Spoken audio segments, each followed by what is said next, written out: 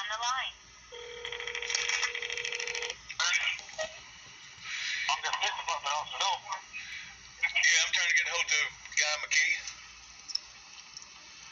Hey, he's he's here. Uh, can I ask who's calling? Yeah, this is Todd Eddington. Oh, hey, Mr. Anderson. Yeah, Mr. Chief, Chief right here. All right. This guy. Hey, Guy. I was just gonna call. Hey, this is Todd. Hey, Hey, yes, sir. I'll do for you. I just had a question about the uh, the public information request that Jody did the other day that we got back. Uh-huh.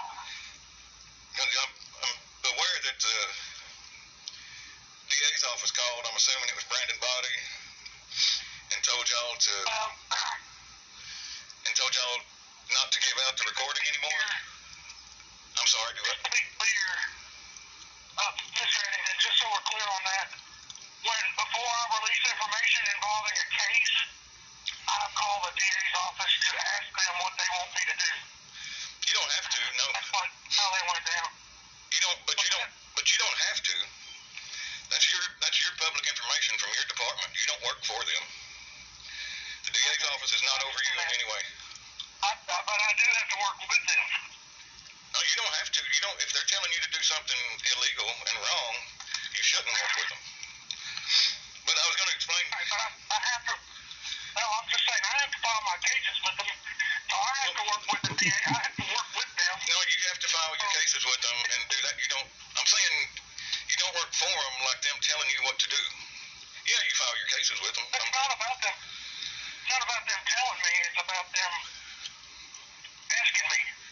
What? I don't think that that's what they did, but what I was what I was calling about is that, like I s- like I said the other day about Brandon Baade. I mean, there's a reason why it took him three years to pass the bar exam.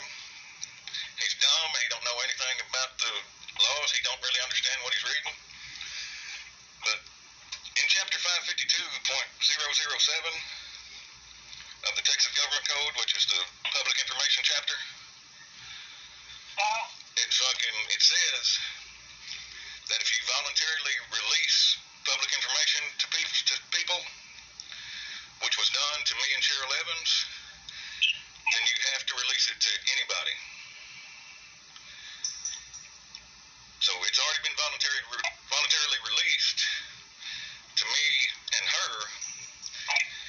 it has to be released to anybody that asks for it now.